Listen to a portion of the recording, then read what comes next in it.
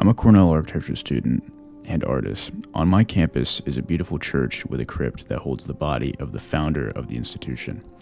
One day, I walked in late afternoon to see the light trailing across the walls shimmering and creating an ambience of awe when this statue captured my attention.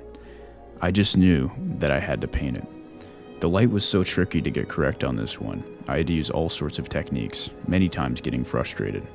I wanted to do the site justice. But working for over a month, I painted and repainted, constantly fixing and refinishing everything until it was perfect. At the end of all of it, I hope you all get the same feeling I had being there. So, here it is.